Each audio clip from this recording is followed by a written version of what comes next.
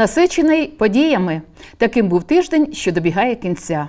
Про головне говоримо в програмі підсумки. Вітаю у нашій студії. І традиційно почнемо з новин державного рівня. З 1 січня 2020 року на українців чекає низка змін, зокрема, збільшення мінімальної зарплати та мінімальної пенсії за віком. Також у цьому році зростуть прожитковий мінімум і податки для фізичних осіб-підприємців. Редакція програми підсумки буде розбиратися у цих нововведеннях і надавати вам всю найактуальнішу інформацію щодо соціальних виплат. Сьогодні пропоную дізнатися про індексацію пенсій.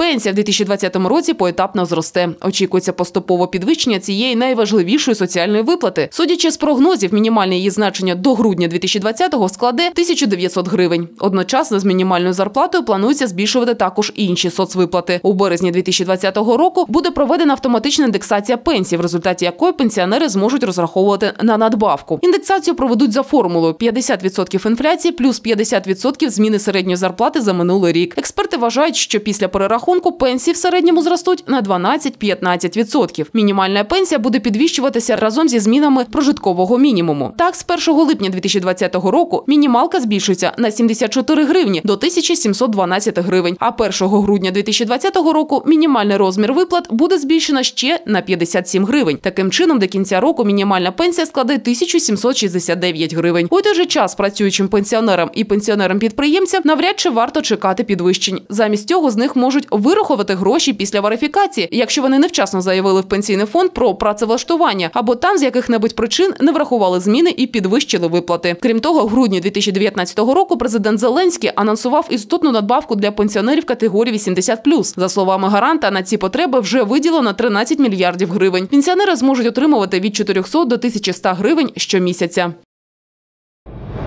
Низькі відсотки та великі суми в Україні стартувала державна програма Доступні кредити 5-7-9%. Тож українські підприємці можуть долучитися до державного проекту з доступного кредитування малого бізнесу. Тепер вони мають можливість взяти позику на стартап або розвиток власної справи під низьку ставку від 5 до 9%. Подробиці дізнаємось просто зараз. 3 лютого уряд дав старт державній програмі Доступні кредити 5.7.9». Ця програма передбачена для створення і розширення власного мікро та малого бізнесу під рекордно низький відсоток 5, 7 або 9% на суму до полутора мільйонів гривень строком до 5 років. Презентуючи програму, було сказано, що ця програма для тих, хто давно мріяв про свій маленький бізнес, але досі не наважувався на це з різних причин. У 2020 році уряд вже виділив на програму 2 мільярди гривень. За рік це дозволить видати понад 50 тисяч доступних кредитів, створити до 90 тисяч нових робочих місць і залучити близько 2 мільярдів гривень внутрішніх інвестицій у сферу малого бізнесу. Міністр розвитку економіки, торгівлі та сільського господарства України Тимофій Милованов додав, що для розвитку та підтримки бізнесу Україна вже має потужну екосистему, новим компонентом якої стала програма доступних кредитів 5.7.9. Основними її складовими є інформація, інноваційність та фінанси, фундаментальні ресурси для бізнесу. Рішення, що пропонує вся ця система, загалом чи окремі її компоненти компоненти будуть корисні як новачку, так і вже досвідченому підприємцю. Урядовці підкреслили, що в рамках програм державної підтримки для підприємців-початківців буде також можливість пройти безкоштовне навчання, щоб підвищити свої бізнес-компетенції та покращити перспективу створення успішного бізнес-проекту. Уряд очікує, що державна програма Доступні кредити 5.7.9» сприятиме розширенню діяльності мікро та малого бізнесу, їхньому виходу з тіньового сектору економіки, створенню нових робочих місць, імпортозаміщенню та поверненню трудових мігрантів. Впровадження програми за дорученням уряди здійснюватиме фонд розвитку підприємства при міністерстві фінансів України. Тема коронавірусу, на жаль, залишається актуальною у світі. Як Україна відреагувала на заклики Всесвітньої організації охорони здоров'я, та як в країні відкоригували роботу державних органів, зважаючи на потенційну небезпеку, дивіться сюжет з цього приводу. На виконання доручення президента України діяльність оперативного штабу щодо недопущення поширення захворювання на території України, який діє при міністерстві охорони здоров'я України, перенесено на рівень кабінету міністрів України. Створена відповідна робоча група. Також усі відповідні державні органи активізували роботу зі спостереження та готовності до виникнення надзвичайної ситуації, включаючи створення резерву засобів індивідуального захисту та інших необхідних ресурсів. Наразі в країні не зафіксовано жодного лабораторно підтвердженого випадку нової коронавірусної інфекції. Відповідні служби служби, включаючи МОЗ, МЗС, Держприкордонну службу, МВС, Міноборони, Мінінфраструктури, держави знаходяться у посиленні готовності. Україна продовжує виконувати усі технічні рекомендації ВОЗ щодо попередження розповсюдження нового коронавірусу. У свою чергу на цей момент ВОЗ не рекомендує обмежувати пересування пасажирів та вантажів, адже це не вважається ефективним засобом попередження розповсюдження вірусу. Громадянам рекомендується за наявності симптомів, такі як гарячка, кашель, ускладнене дихання, вживати заходів для попередження поширення інфекції. Уникайте тісного контакту з людьми, надягніть захисну медичну маску. Якщо ви відвідували уражені райони Китаю, обов'язково повідомте про це лікаря. Грип та ГРВІ вирує в Україні. Що стосується нашого регіону та його центру Дніпра, епідеміологічний поріг перевищено. На цьому тижні всі міські школи офіційно закрили на карантин. Вимушені канікули учнів розпочали 6 лютого. Вони продовжаться до 16 лютого. Що спонукало представників міської влади прийняти таке рішення? Які цифри щодо захворюваності станом на середу оприлюднили у міському департаменті охорони здоров'я? Ці та інші подробиці далі. Карантин в освітній сфері Дніпра. Подробиці причини строки. Такою стала тема брифінгу фахівців у міській раді. Завідувач відділення організації епідеміологічних досліджень Дніпровського міського лабораторного центру Наталія Інякіна зазначила, за минулий тиждень зафіксовано 7422 хворих на грип та ГРВІ. Через це епідемічний поріг у місті перевищено на 31%. Загальна кількість госпіталізованих осіб також зросла на 55%.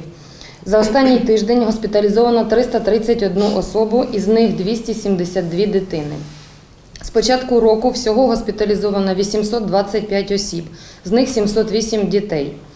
З початку 2020 року встановлено діагноз грип було 249 особам, і 98% із них складають діти. Через це міська комісія з питань техногенно-екологічної безпеки та надзвичайних ситуацій вирішила, потрібний карантин 6 по 16 лютого. Повністю не вчитимуться всі школи Дніпра, у тому числі вечірні і спеціалізовані. Вони внесуть зміни у навчальні плани для того, щоб діти могли надолужити програму. Терміни звичних канікул не зміняться, а вимушених під питанням. Ситуацію контролює Держпродспоживслужба. Якщо буде потрібно, то канікули будуть подовжені і далі. І Держпродспоживслужба буде займатися контролем даного питання. Позашкільні ж заклади працюватимуть. Рішення про обмеження процесу прийматимуть їхні керівники. У стосунку садочків діятиме особливий режим. Про це зазначила заступник директора департаменту гуманітарної політики мерії Дар'я Біла. На території закладів буде проводити щоденний огляд дітей медичними працівниками з обов'язковим вимірюванням температури. Планові профілактичні щеплення на цей період призупиняються, масові дитячі заходи обмежуються або повністю скасовуються. Додатково буде проводитись вологе прибирання, кварцювання приміщень, а також е, здійснено е, додаткову роз'яснювальну роботу з батьками. Спеціалісти моніторитимуть ситуацію до 16 лютого. У разі, якщо захворюваність не зменшиться до цієї дати, то про продовження карантину батьків повідомлять завчасно. Обізнаність та вчасне звернення до лікаря. Про це нагадали медичні працівники напередодні Всесвітнього дня боротьби проти раку. Його мета привернути увагу до цього підступного захворювання, адже статистика його сумних наслідків, на жаль, невтішна. 4 лютого по всьому світу відзначають День боротьби проти раку. Головна мета підвищити обізнаність серед людей про цю страшну хворобу. Цьогоріч день пройшов під гаслом Я є і буду. Это э, девиз призван э, каждого, призывает каждого. Что я могу сделать сейчас для того, чтобы обеспечить свое будущее, будущее своих родных, близких э, без рака? Э, какие меры я должен принимать сейчас?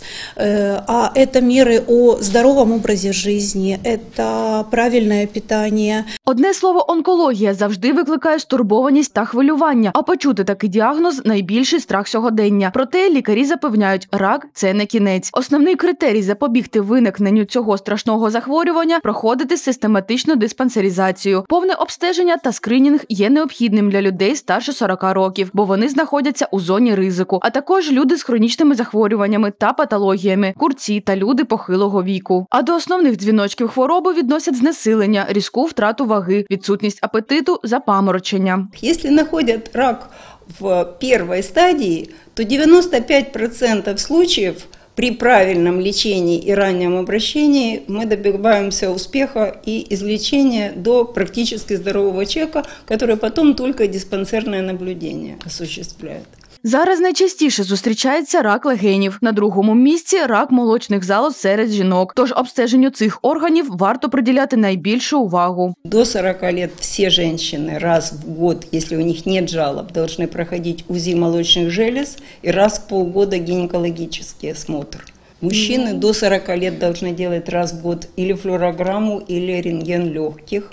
Запобігти виникненню ракових захворювань може відмова від паління та відвідування соляріїв, систематична фізична активність, збалансоване здорове харчування, а також уникнення тривалого перебування на сонці. Не варто забувати про важливість обстеження та звертати увагу на самопочуття, бо вчасний візит до лікаря може зберегти вам життя. Довго чекали на нього, і нарешті він зволив виконати побажання. У середу мешканці нашого регіону побачили сніг і навіть хуртовину. Ті, хто перебував на вулиці, відчули всю міць стихії. Чи впорались комунальні служби з негодою? Про їхню роботу та наслідки снігопаду у матеріалі. Після затяжної відлиги зима знову нагадала про себе. До того ж, увірвалась на територію Дніпропетровщини досить агресивно. За день весь регіон густо запорошило, а температурний показник знизився на майже 10 градусів. Негода спіткала область несподівано. На боротьбу із стихією направили всі ймовірні сили. Залучились до боротьби із наслідками і комунальники, і рятувальники. Лише впродовж вечора 5 лютого надзвичайники здійснили близько двох десятків виїздів, де витягнули із снігових пасток близько 40 автівок та врятували майже 50 осіб. Крім того, прибрали 18 дерев, які заважали транспортному руху. На регіональній автомагістралі станом на ранок четверга вийшли понад 120 снігоприбиральних машин. Що стосується міста, на його вулиці вийшло 130 одиниць спецтехніки. Її функція прибирати дороги від снігу та обробляти їх протиожеледними матеріалами. Особлива увага на найбільш небезпечних ділянках мостах, шляхопроводах, підйомах та спусках доріг. За словами заступника міського голови Михайла Лисенка, техніка працювала усю ніч з 5 на 6 лютого, щоб на ранок дороги були проїжджими. Комунальники висловили готовність перейти на цілодобовий режим роботи у разі необхідності та залучити до прибирання додаткову техніку. На цьому тижні міський голова Борис Філатов заявив, що вартість тепла у платіжках Дніпрян за січень буде на 15% меншою. При цьому цифри переглянуть не лише для населення, а й для громадських і релігійних організацій, які функціонують у Дніпрі. У разі отримання несправедливої суми дніпряни можуть звертатися на гарячу лінію мерії. Нагадаємо, для міської ради це вже не перший досвід зниження вартості тепла. У грудні людям пообіцяли зменшити її на 30%. Чи відчули мешканці Дніпра різницю? З таким питанням наші кореспонденти вийшли на вулиці міста. Мінус 30% від суми в платіжках за опалення і гарячу воду. Саме про це ще у грудні місяці повідомили у міськраді Дніпра. Та ми вирішили з'ясувати, чи дійсно у цьому місяці дніпряни отримали зменшені розрахунки. У меня отрезано отопление и прислали платежку. Пока нет, жду в предвкушении. Вот левый берег у нас, вот, вот, ну, слава богу, потому что мы пока еще Комэнергосервис, Не теплосеть. Поэтому мы 470 гривен за январь еще не получали, а это за декабрь. Очень плохо, потому что в, прош- в прошлом году даже, по-моему, меньше было. В этом году я получила 1000, уплатила 1908 за двушку, за двушку 45 квадратов. Нет, платежки не пришли, но через терминал я видела, какая сумма. А сума змінилась? Менше стало чи ні? Нет, не стало. Я не получала, и у меня муж занимается этим. Я знаю, что я заплатила, а потом дочка пришла и сказала, что там пересчитали, и на 300 надо меньше. Я говорю, ну, заплатили м, м, вычтут. Получили, но еще не сравнивали, э, меньше, больше. Но то, что две платежки пришло, да. На жаль, несправедливість занадто часто зустрічається в житті. І якщо людина ще може вплинути на ситуацію чи вберегти себе від небезпеки, тваринам це зробити набагато складніше. Як, наприклад, кільком собакам, які нещодавно стали жертвами отруєння. З проханням розповісти про цю трагічну подію до нашої редакції звернулася небайдужа жінка. Смерть вірних чотирилапих обурила і працівника місцевої парковки. Люди впевнені, собак отруїли навмисно. Розбирались наші кореспонденти. Вони слідкували за порядком та допомагали охоронцям стерегти автостоянку. Їх любили як працівники парковки, так і автовласники. Свою любов до чотирилапих люди висловлювали смаколиками, якими часто пригощали собак. Та ось одного разу ласощі зіграли з тваринами злий жарт, який трьом з них коштував життя. В принципе, это даже не бродячие собаки, никому не могли мешать. Ця сумна історія розпочалася місяць тому, коли одна з п'яти собак раптово померла. Як потім вдалося з'ясувати, смерть наступила внаслідок вживання отруєної речовини, яку підмішали до їжі. Через деякий час схожа доля спіткала ще двох пухнастих. Был фарш с включением белого вещества, предположительно растворенных таблеток. Это не давали ни охранники, он был завернут в кулечки. Як помирала одна із собак, бачив на власні очі охоронець стоянки. Та ніч, за його словами, була найгіршою у його житті. Тоді він і не здогадувався, що вже вранці загине ще одна чотирилапа. Пол третьего ночи обнаружил собаку, когда она уже лежала, ну, ногами дергалась, а пена у нее со рта и шла во всю, кончалась. А часа через 4, ну, где-то 5, и другая тоже умерла, так само. Но я уже не застал, сменщик ее увидел. Та поза кадром чоловік розповів, що все ж таки були ті, кому собаки докучали. Кілька разів на стоянку приходив один і той самий чоловік, мешканець багатоповерхівки навпроти, і весь час погрожував розправою над пухнастими. Мовляв, їхній гавкіт заважає спати. Та чи винен він у смерті собак, невідомо. Утім, якщо правоохоронці таки знайдуть вбивцю тварин, на нього чекатиме покарання. Це вже йде відповідальність за статтею 299 Кримінального кодексу України. Е, Зокрема, це буде обмеження волі від 2 до 3 років або е, позбавлення волі від 2 до 3 років. Та випадок із цими собаками далеко не перший в нашому місті. Ледь не щодня люди з різних куточків Дніпра б'ють на сполох та скаржаться, що живодери масово труять чотирилапих. Але на жаль, винних у загибелі тварин знайти майже неможливо. За даними поліції, лише за минулий рік викликів щодо жорстокого поводження з тваринами було понад 370. Лише цим двом пухнастим цій сумній історії вдалося вижити, але наразі їхні життя від такої долі не застраховані. Такими були головні події тижня. Дивіться програму підсумки, і ми разом станемо свідками того, як будується історія. Ну а зараз традиційний дайджест позитивних новин світу. На все добре.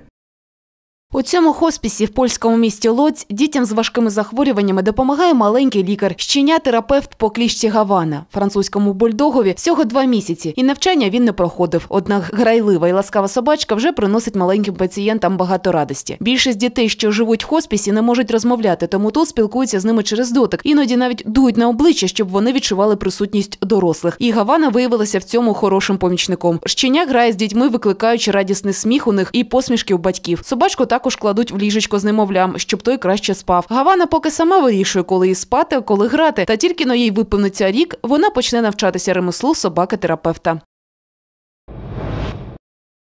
Новий потужний сонячний телескоп Даніел Кей почав робити знімки поверхні нашої зірки. Вони самі детальні з усіх, які коли-небудь отримували астрономи. На фотографіях можна побачити об'єкти розміром до 30 кілометрів. Телескоп зафіксував гранули в фотосфері сонця. Вони утворюються в результаті конвекції плазми. Під час теплообміну формуються колони конвекції. Гранули це їх видима вершина. Цю зернисту структуру називають грануляцією. Діаметр звичайних гранул досягає 1500 кілометрів. Час їх існування триває до 20 хвилин. Під фотосферою є шар супергранул. Їх діаметр 30 тисяч кілометрів, а час життя доба. Телескоп Даніел Кей знаходиться на гавайському острові Мауї поруч з вулканом Халеакала. Це місце вибрали з-за малого світлового забруднення та сприятливої для спостережень погоди. Будівництво телескопу почалося у 2013 році. У цьому півріччі його обладнають інструментами для вимірювання магнітного поля. Телескоп з 4-метровим дзеркалом допоможе вченим відстежувати сонячну активність і точніше прогнозувати геомагнітні бурі. Це природне явище може порушити зв'язок, роботу систем навігації космічних кораблів і навіть зруйнувати енергетичні системи. Дослідники сподіваються найближчі роки зробити за допомогою телескопа багато важливих відкриттів.